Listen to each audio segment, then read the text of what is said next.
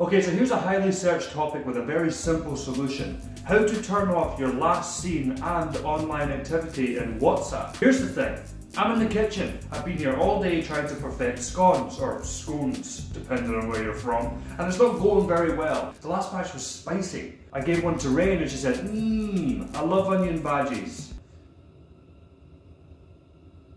Anyway, I can't multitask. People are messaging me, I'm reading their messages, but I don't have time to message them back. I'm up to my eyes in baking soda and I'm stressed. But I also don't want to look rude thinking that I'm just reading their messages and not replying, which is exactly what I'm doing, but um, I don't want them to know that.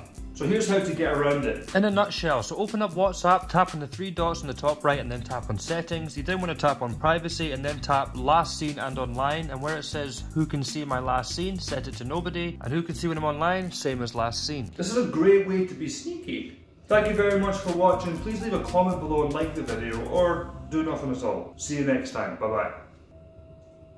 What even is that?